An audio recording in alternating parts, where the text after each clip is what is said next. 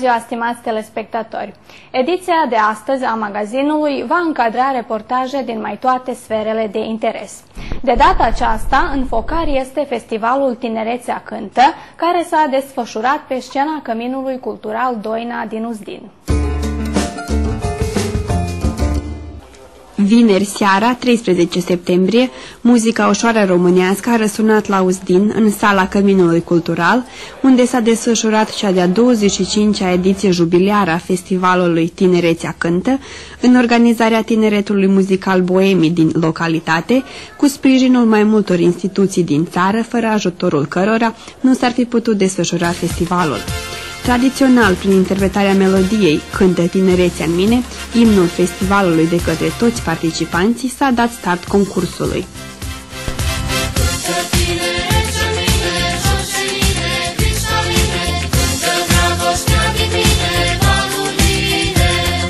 În cadrul concursului național au participat interpreți din statul nou, Vârșeț, Torac, Jamăl Mic și Uzdin, pregătiți să ne înveselească cu cântecele lor.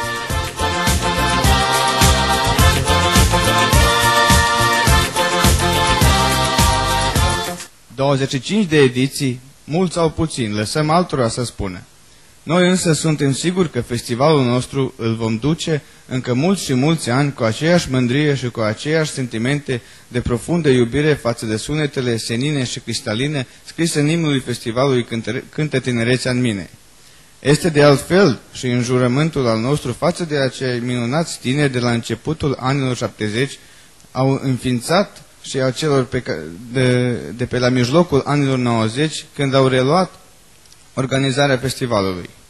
A fost mult de făcut pentru bună desfășurare a ediției din acest an a festivalului, însă împreună cu toți cei care au vrut să se acorde o mână de ajutor, sperăm că vom reuși. Pe lângă președintele festivalului, cuvinte de salut tuturor celor prezenți, a mai adresat și Marcel Drăgan, secretar general al Consiliului Național al Minorității Naționale Române, care totodată a inaugurat ediția de anul acesta Festivalului Tinerețea Cântă. Este absolut normal să-ți dorești să fii veșnic, tânăr, frumos, îndrăgostit, să cânți mereu. Pentru că Platon zicea că muzica este o lege normală care dă suflet universului, arip minții, farmec tinereții și viață tuturora. Câteodată este foarte plăcut să adresezi gânduri bune, câteodată este greu să pregătești aceste cuvinte. Oricum, nu există nimic mai minunat decât să te găsești înconjurat de tinerețe, să fii alături de cei dragi să ne trăiască tinerețea. Proclam deschise ediția 25-a a Festivalului de Muzică Ușoară, Tinerețea Cântă. Un juriu de specialitate a urmărit participanții festivalului și a adus următoarele decizii. Laureata concursului național al ediției de anul acesta a fost desemnată Adriana Puia din Uzdin, pe când Albina Crețu, tot din Uzdin, a semnat cea mai bună compoziție.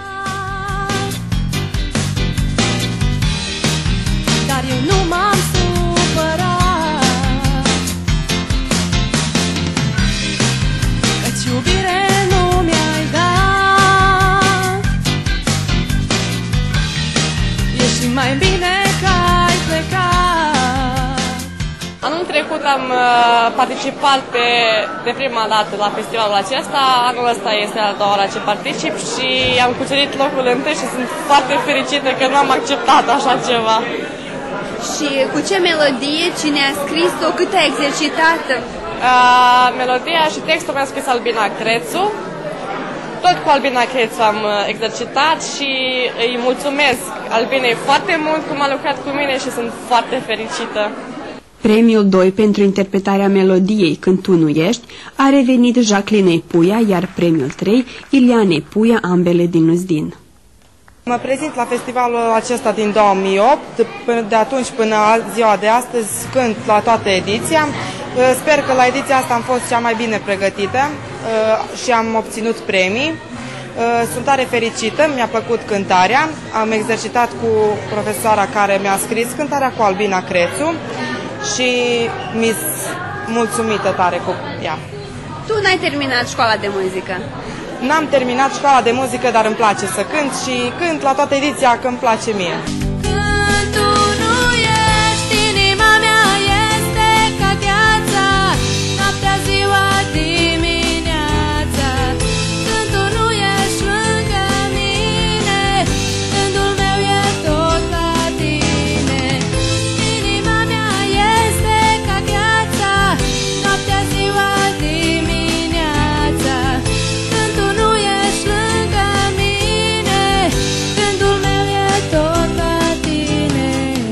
Sunt încântată cu acest festival și îmi pare bine că am fost invitată.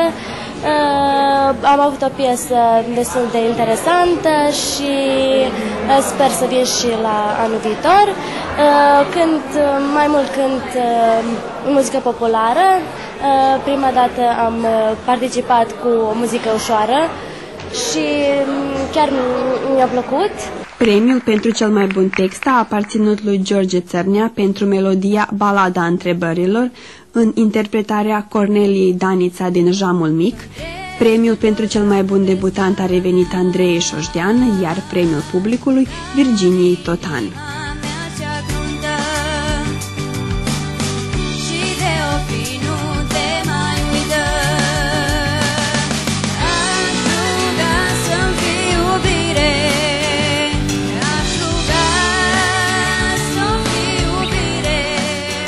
George Planianin, cel care mi-a scris și textul, aceste compozi compoziția, cel care mi-a făcut compoziția, mi-a propus să vin la acest festival și eu am acceptat, desigur, că îmi place foarte mult să cânt.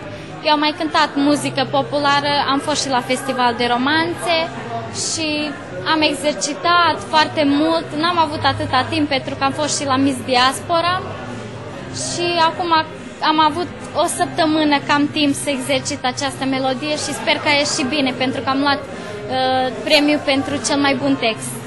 Să te vindec de la care să-i pui bărit în jocul prea înalt Cum fără milă trecea fiecare peste capcana pusă celular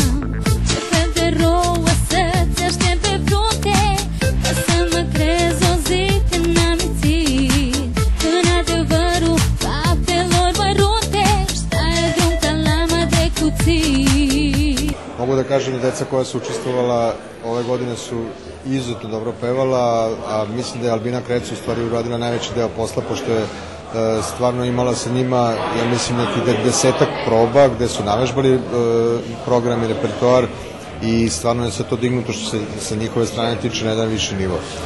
Nadam se da će festival da opstane jer ovo je jedna e, kap u moru e, svih dešavanja, ali je vrlo bitna i mislim da e, održava neku tradiciju i nešto što je lepo i što se ne uklapa u neke klišeje i one neke moderne trendove koji su danas aktuelni, nego zadržava svoj identitet i zadržava nešto što je drugačije od svega što ja znam u Vojvodini, a verujte da se puno krećem po ovim prostorima i znam o čemu se radi. În timp ce jurul a luat deciziile, cei care au participat în afara concurenței au delectat publicul spectator, creând o atmosferă plăcută. S-au prezentat Jacqueline Puia din Uzdin, Monica Blaj din Satul Nou, tânărul Mihail Iconar din Uzdin la chitară și Ioana Maria Paul din Timișoara.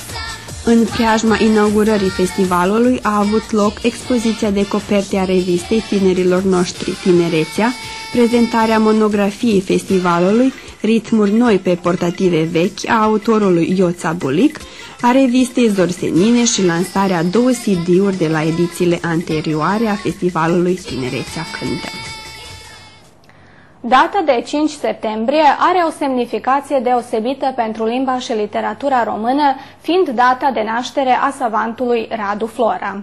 An de an, chiar la început de lună, ne amintim de opera și personalitățile distinse din rândurile etniei noastre. Așa a fost și de data aceasta.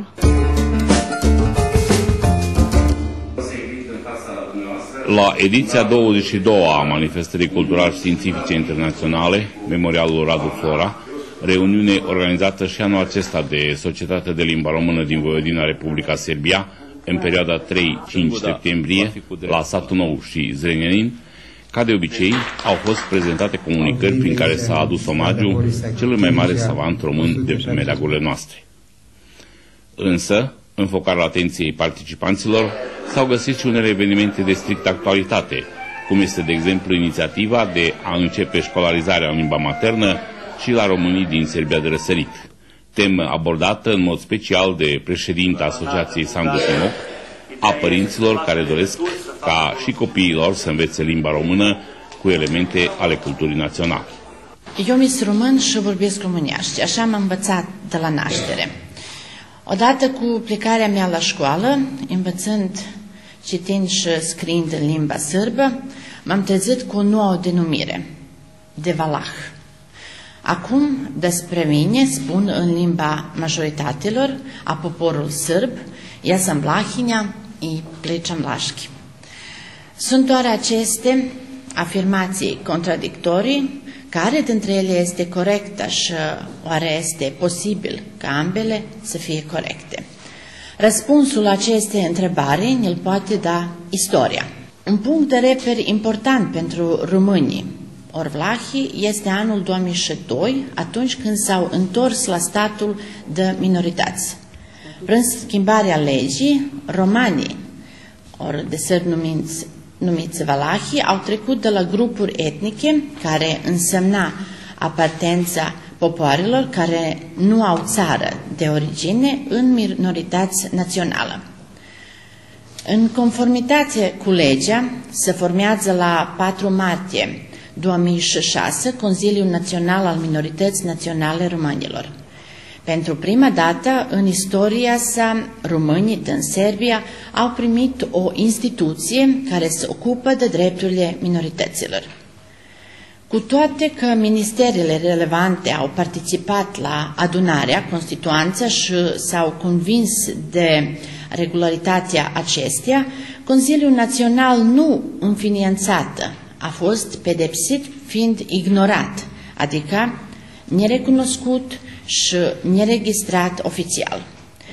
Iar ca motiv de refuz al autorităților în cadrul Ministerului Afacerilor Minoritare se invoca recunoșterea prin vot a limbii romane literare ca limba oficială a minorității român din partea majorității membrilor acestui organism. După mai mult de un an de interziere sub amenințarea unui proces la tribunal de la Strasburg pentru domnilor drepturilor omului, autoritățile de la Belgrad decid să înregistreze Consiliul Național Minorități Naționale Românilor. În calitate de membru, de membru al Consilium și coordinator al Departamentul pentru Învățământ, a început participarea mea activă la păstrarea limbii paterne. Din cauza lipsei de conștiință și ignoranța față de originea să se lipse de educație în limba lor maternă, membrii Departamentul pentru Învățământ au adus hotarea de ca limba maternă să fie profesată în școli ca obiectiv facultativ, două ore pe săptămână și acest ca, limb, ca limba română cu elemente de cultură națională. Pentru a crea condiții pentru aceste clase, legea învățământul prevede colectarea de semnături ale părinților care doresc că copiii lor să învețe limba română.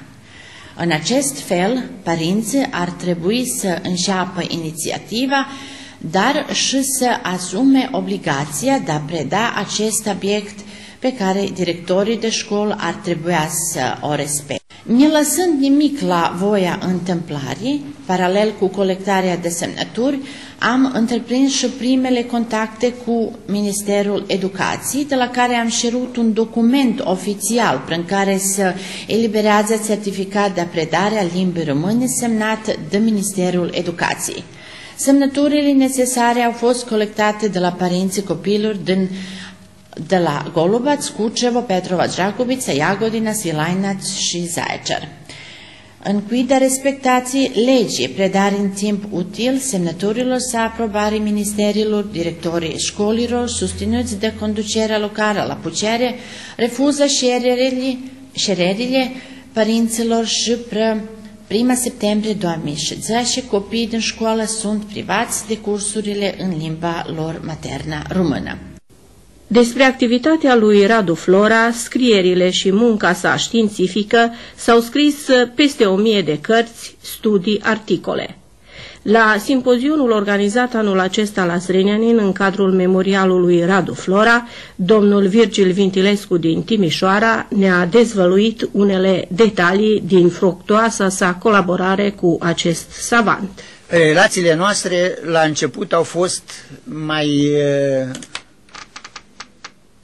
mai reci, pentru că venisem cu imaginea creată de cei care fuseseră înaintea mea, și cu imaginea creată de la ambasadă care mi-a atras atenția să fie atent că e un om periculos. Și treptat, colaborarea noastră a fost mai mult științifică, treptat ă, a început să mă atragă în fel de fel de activități ale societății de limba română. Toată organizarea simpozioanelor consacrate relațiilor iugoslave, iugoslavă-române, ca și ideea, îi aparținea lui Radu Flora, care știa să fixeze o tematică foarte bine uh, aleasă și să nu-i deranjeze pe cei care veneau să zică că li se impune o anumită tematică. Datorită insistențelor lui Radu Flora, am continuat cercetările mele privind literatura bănățeană. Am făcut, datorită acestor simpozioane și îndemnurilor lui Radu Flora, am făcut uh, câteva Ehm, monografii de publicații, eh, poate mai puțin importante din Banat, dar care aveau unele materiale interesante. Am recenzat câteva dintre uh, romane, primul când vine primăvara, l-am recenzat când eram aici, iar celelalte le-am recenzat pe parcurs. Între timp i-am făcut recezii și în limba maghiară, bineînțeles că mi le-a tradus cineva în limba maghiară, eu nu știu decât câteva cuvinte și acelea urâte.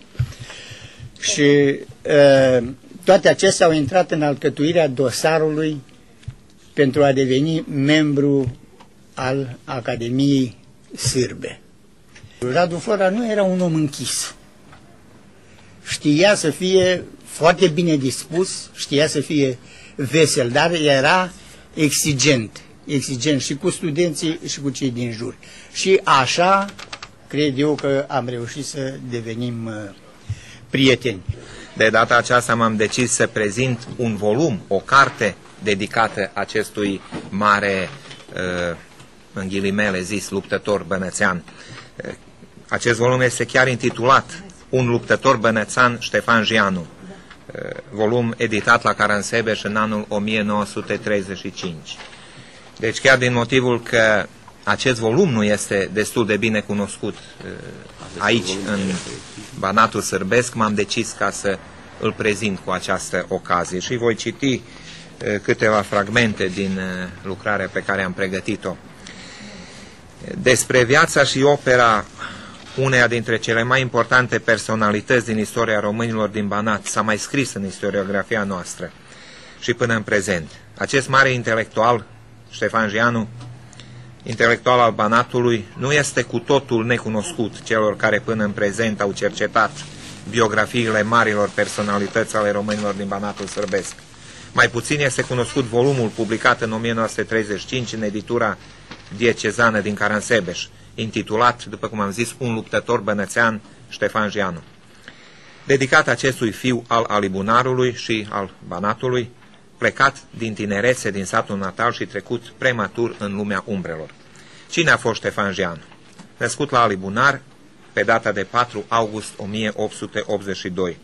Școala primară o face în satul natal, liceul la Panciova și pot să zic în paranteză că a fost unul dintre uh, elevii uh, liceului din Panciova care a insistat uh, să se introducă orele de religie în limba română la școlile din Panciova, ceea ce a și fost, deci s-a și reușit, până la sfârșitul perioadei eh, austro-ungare și eh, până la sfârșitul primului război mondial, de fapt, în școlile din Panciova exista o, eh, o formă de învățământ în limba română, este vorba despre uh, orele de religie care se vor stinge, din păcate, în perioada interbelică, vor dispare pentru totdeauna.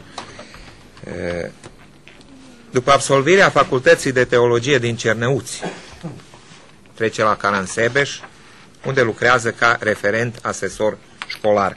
Doar să mai zic că a făcut studii și la Bratislava, Pojuni, la Facultatea de Drept. În anul 1909 este ales în fruntea Senatului Școlar al Institutului Teologic din Caransebeș, funcție pe care o deține până la moartea sa prematură și neașteptată la 15 noiembrie 1918, deci chiar în momentele în care se termină primul război mondial, eh, la 11 noiembrie a capitulat eh, Germania, eh, eveniment prin care deci s-a pus s-a terminat primul război mondial Doine este un cântec tipic românesc și este cântecul de suflet al românilor. În Doine se exprimă jalea, dragostea și dorul.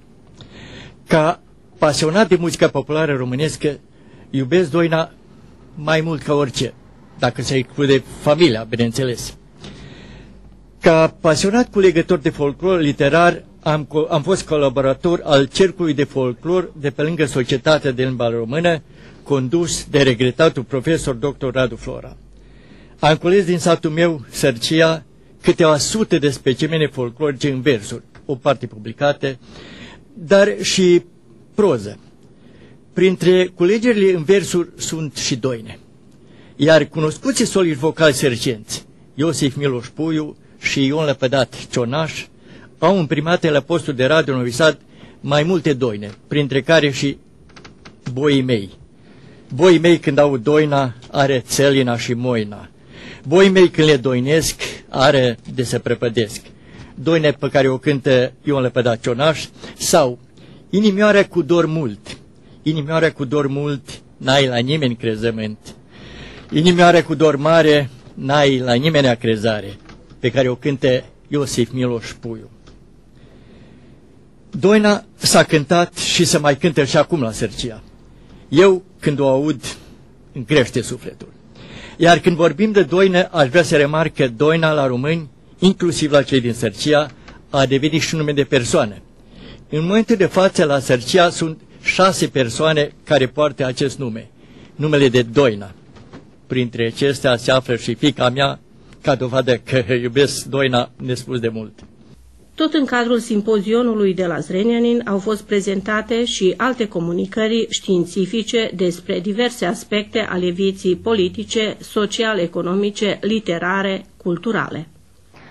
Memorialul Radu Flora a încadrat în acest an și manifestări adiacente, în cadrul cărora au fost prezentate nestemate din lada cu zdestre auzdinenilor, cât și unele creații artistice ale familiilor Flora și Mulici, dar și lucrări în ulei pe pânză ale lui Daniel Susa. Chiar dacă portul popular a suferit modificări de-a lungul timpului, mai ales în vestimentația feminină, el și-a păstrat farmecul, acuratețea și splendoarea. Iată, ne aflăm și la această manifestare. Ne pare bine că am fost invitate să participăm și am venit cu lada noastră de zestre bogată care o avem și iată o parte din acele lucruri le-am adus și aici. Avem îmbrăcată o femeie mai tânără cu costum bogat cu sut, un bărbat cu șoarici, costum și chintuș cu năticași și pe lângă ele mai avem partea de sus a costumelor și mai alte femei mai la vârstă îmbrăcate în port popular. Avem și străiți, calauzdeni și mesaie cu sute, năticați. Am vrut de data asta să arăt portul de doliu, fiindcă aici ne-am adunat în memoria domnului Radu Flora și din cauza chiar insist ca acest port de doliu să îl vadă lumea portul din Uzdin. Totuși vă spun că acolo, în Uzdin, se poartă cotrințe negre la doliu, dar nevestele și fecile ale mei cinere poartă cotrințe cu pui mici și un urțar micuț cu sut. are și un chintuș, deci asta e un port, cum să vă spun, ca și când l-aș fi îmbrăcat eu atunci când a dispărut domnul Radu Flora dintre noi. Pe vremea aia am fost mai cinere. E, acum, pe lângă portul ce se vede în fotografie, nelipsită e și straița. Straița, totuși, e pentru femeile ale meicinere, fiindcă are rânduri în alb. Dacă ar fi fost pentru ale bătrâne, cum eu de vârsta mea, ar fi fost numai cu bombe. Deci e un port specific pentru o anumită zi specifică. Ce vă leagă mai mult de memorialul Radu Flora și de personalitatea acestui distins savant? Eu, la vremea mea, când am fost mai tânără, eu am colaborat cu domnul Radu Flora atunci când o scos cărțile Foaie verde rămăiță și Foaie verde spic de grâu. Pe vremea aceea, Uzdinențile nu prea ținut creionul în mână, nu prea ieșit în lume. Eu am și sub numele meu în cartea și sub numele părinților și a socriilor semnace lucruri. Și de atunci am început așa, să ne întâlnim când, vine la, când vinea la Uzdin, să îl întreb ceva din literatură, ceva, pentru că mine m-a interesat de când mi eu literatura și limba română. Că vorba aia și că până o da ortul popii, nu-mi zăuit portul și graiul. Și cred că asta mă leagă de tot ce e românesc în lume. Păi ca patrulul smântână, mai bine de o săptămână. Rău la nărvi a tăcat, că n-are concentrat.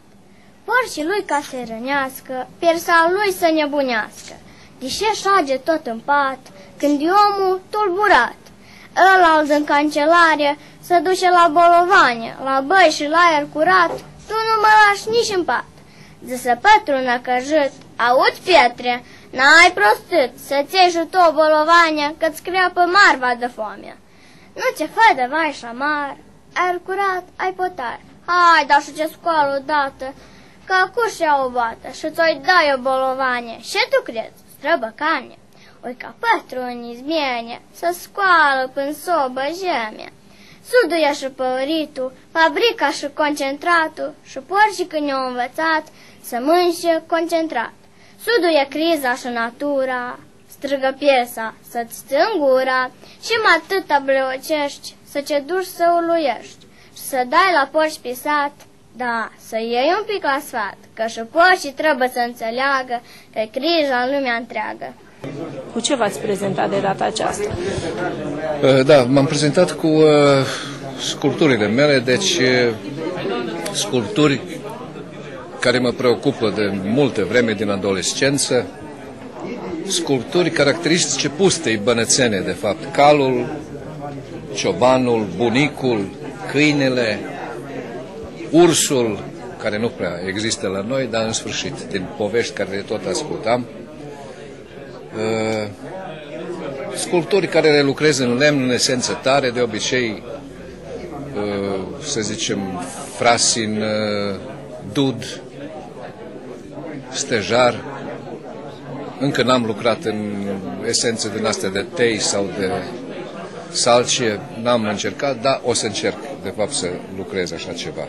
Și de data aceasta, la manifestarea de la Zrenianin, ne-am convins că toți suntem oameni simpli, modești, dar vrednici continuatori ai datinii străbune. Din totdeauna, pentru totdeauna.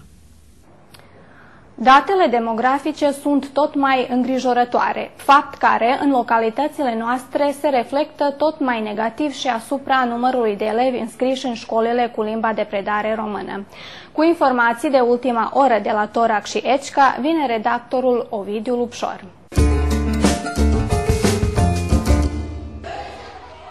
Niciun început de an școlar nu poate trece fără probleme legate de minoritatea noastră. Pe lângă problemele cu începerea tipăririi manualelor în limbile minoritare, despre care am relatat în magazinul TV din 8 septembrie, problema arzătoare cu care ne confruntăm atât noi cât și celelalte comunități este micșorarea treptată a numărului copiilor care se înscriu în școli. Zilele acestea am vizitat școlile generale din Torac și Ecica, care pe vremuri se puteau mândri cu un număr impozant de elevi, frecventând cursurile în limbile sârbă și română. Iar astăzi, Școala are 169 de elevi, numărul este tot mai mic din an în an, iar pentru prima dată școala George Coșbuc nu are nici un elev în clasa 1, deci o clasă mai puțin. La secția sârbă au plecat 15 elevi în clasa 1, ce este un număr destul de mic, dar suficient să nu avem clasă combinate. La nivel de școală avem 59 de elevi cu limba de predare română, iar 110 elevi cu limba de predare sârbă. Învățătorul Ion Cipu s-a angajat la Școala Generală George Coșbuc din Torac în anul 1975. Îmi amintesc în primele, în primii ani de muncă într-un, într-un despărțământ, din cauza că pe timpul acela existau două despărțământe A și B, au fost în medie 20-25 de elevi. Pe timpul acela. După aceea s-au unit două despărțământe într-un despărțământ, dar numărul elevilor a fost 25-30 de elevi. Din păcate, astăzi nu mai există clasa 1, nu mai există clasa a doua, numărul elevilor, există elevi din familii române sau mixte, dar din unele motive elevii se înscriu în general sau cel mai mult în despărțământul cu limba de predare, limba sârbă. Așa că anul trecut am avut prim, pentru prima dată o clasă combinată în Torac, de când există școala în Torac. Spuneți-mi, ce se întâmplă cu bastionul învățământului în limba română în această localitate? Mm, nu, nu aș ști exact răspunsul din ce cauză părinții nu vreau să-și înscrie, din cauza că nu văd uh, nimica extraordinar dacă își scriu în limba de predare, cu limba de, la, la români sau cu, în despărținte cu limba de predare limba română, din cauza că pf, acum, în anii aceștia, nu prezintă o problemă cunoașterea limbii sârbe dacă vreau să continue e, școlarizarea în limba sârbă. Chiar, din potrivă, văd că mulți ca aceia care termină în limba sârbă doresc să studieze în România și atunci au chiar au o problemă cu naște limbii române. Așa că nu văd care este motivul că nu își înscriu copiii în despărțământul cu, predare, cu limba de predare limba română. Așa că cadrele sunt aceleași, școala este aceea, materialul didactic același, așa că nu înțeleg. Dar chiar și cu elevii au probleme. De exemplu, în familii românești nu se vorbește, se vorbește limba română. Copiii nu prea cunosc limba sârbă și au greutăți, dar asta rămâne să gândească părinții, nu? De fapt, ar fiecare părinte are dreptul să-și scrie elevul copilul, adică unde dorește. Ce se va întâmpla cu școala din Torac în, în viitor apropiat, dacă va continua acest trend? Eu sper și nu, nu, nu vreau să, să fiu real în cazul acesta, dar dacă se merge tot așa, o să se închidă clasele cu limba de predare română și după aceea este, va fi foarte greu să se redeschidă din nou. Din cauza numărului elevilor, unele condiții care sunt acum în vigoare, foarte greu. La Școala Generală Dr. Alexander Sabovlev din Ecica, actualul director lucrează de mai bine de 25 de ani. Când am, m-am angajat la Ecica în anul 1986, am avut în jur de 600 de elevi, cu trei clase paralele, deci două cu limba de predare sârbă și una de limba de predare română, iar în momentul de față avem 286. Deci s-a jumătățit numărul elevilor. Și azi avem clase cu limba de predare română și cu limba de predare sârbă, însă este o mare problemă numărul elevilor care din an în an scade.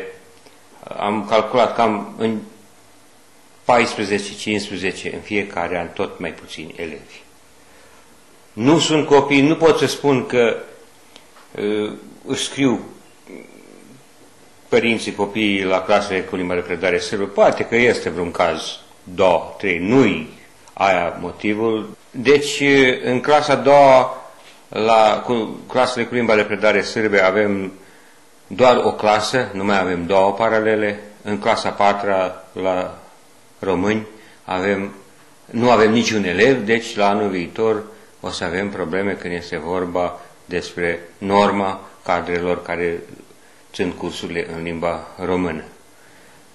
Așa că probleme din an în an tot mai mari când este vorba de numărul claselor, de numărul elevilor, dar tot depinde de numărul elevilor. Asta îi primul lucru care îl cer toți de la noi și Ministerul, numărul elevilor este foarte important. Noi putem să cerem să facem plângeri aici sau curea la, la provincie, la minister, dar regulamentul este foarte clar.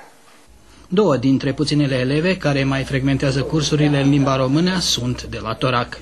Mă numesc Ana Popi, merg la clasa 8 și la școala George Coșbuc din Torac. Ana, iată, noul an școlar, cum ți se pare? Este mai greu decât anii precedenți? Păi, așa, puțin mai greu. Spunem, vacanța de vară s-a terminat. Cum ți-ai petrecut această vacanță?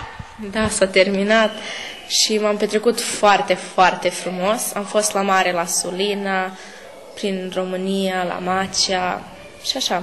Mă numesc Dolores Petrovici, am 14 ani, merg în clasa 8 în școala generală George Coșbuc din Torac. Dolores, vacanța de vară s-a terminat. Cum ți-ai petrecut?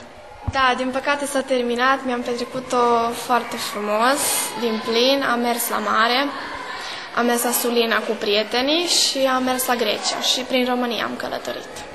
Iată, noul an școlar a început. E mai greu decât anii precedenți, fiindcă, după că știu, ești eleva în clasa 8 -a.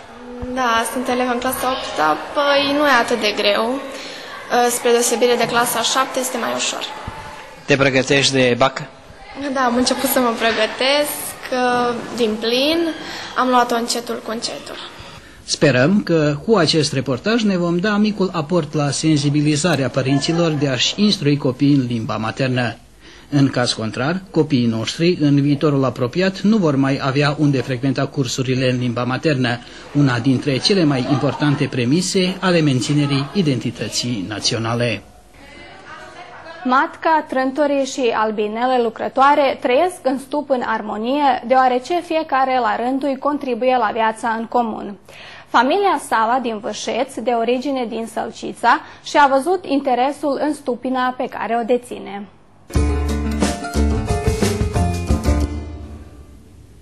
Apicultura este o ramură a agriculturii care studiază biologia și tehnologia creșterii și exploatării albinelor în scopul obținerii produselor apicole și polenizării plantelor. Dacă unii spun că aceasta este o îndeletnicire a pensionarilor, în ultimii ani tot mai mulți tineri practică această meserie. Acum câțiva ani, de 27 sau cât, uh, am lucrat la un întreprindere vârșeț acolo și un prieten de la mei.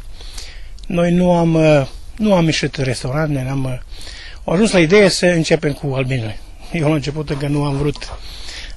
Până la urmă m-au convins și așa am cumpărat o stupine de 9 stupi și noi trei am început, fără să știm nimic despre chestia asta. Și atunci am început să citim uh, toți trei, deci ne-am mai consultat cu alții, am citit și alte dată și până la ziua. Am început să îndrăgim chestia asta. Și așa am uh, început să le înmulțim și am ajuns la o stupină mai mare, care deja, deja greu eu am putut singur să o, să o și atunci fiul mai a ajuns și el a crescut, da? Și amândoi acum am început să lucrăm. Eu am, eu am la pensie și mă ocup numai cu asta. Și îmi place natura, deci satul ăsta aici m-a născut, de nou m-am întors înapoi și asta îmi face plăcere și plus ăsta să face ceva și de trăit toată familia ca să... Îmi spuneți cât de importantă este știința pentru un apicultor?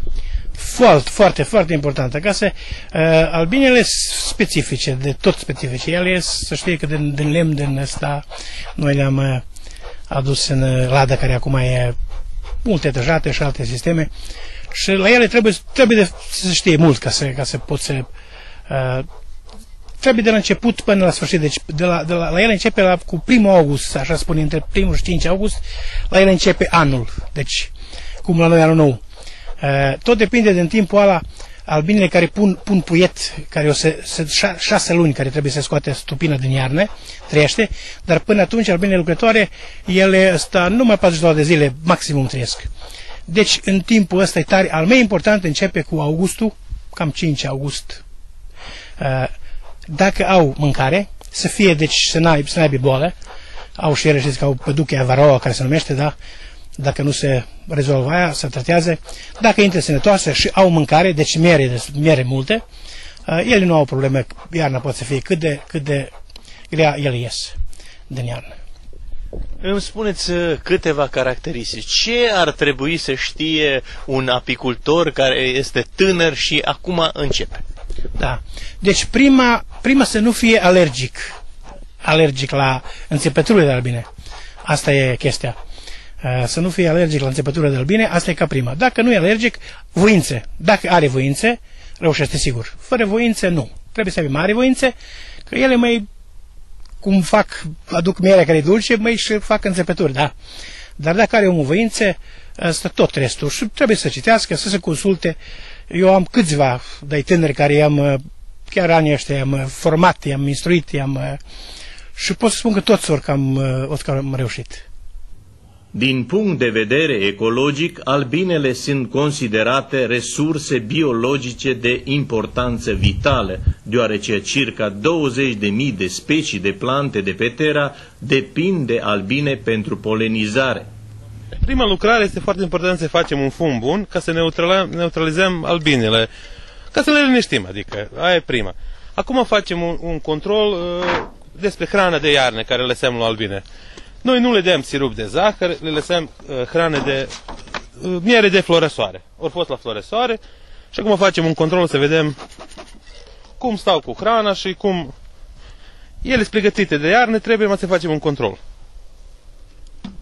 Uh, cam câte albine există în acest uh, stup? Acum ar trebui să fie vreo 25.000 de, de albine, 20-25.000 de albine ca să iasă din iarnă bun la primăvară. Și foarte important să aibă bar 15 uh, kg de, de miere. Nu de zahăr, nu de sirup, mai de miere naturală.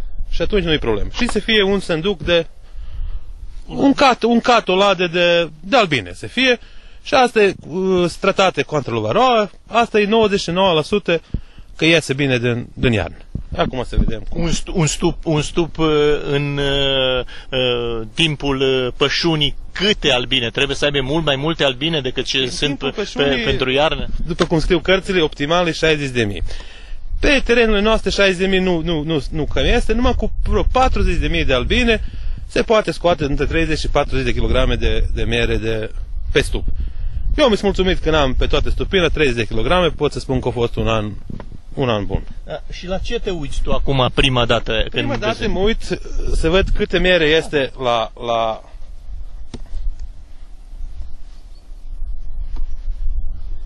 și să văd cât puiet este. Este foarte important. Și dar mat că au pus ouă tânere. Uitați, aici se vede că este miere multe la... Asta e foarte important. E, e mierea căpăcită. E căpăcită și este pregătită de, de iarnă. Uite, se vede și puietul, veți aici. Opa! Stați un pic. Uh, aveți nevoie și de ajutor, nu? Da, da, da. Scoate mai un ram. Și aici se vede. Mere. Mere. Un ram acesta are 2 kg de, de mere Practic se vede că e tot, tot, tot în, în rând. Dacă să le scoatem și aici. Uitați. Da, și de partea asta se vede puietul. Mere și, și, și puiet. Practic asta e stup pregătit pentru iarnă, fără nicio teamă că ceva nu fie în rând.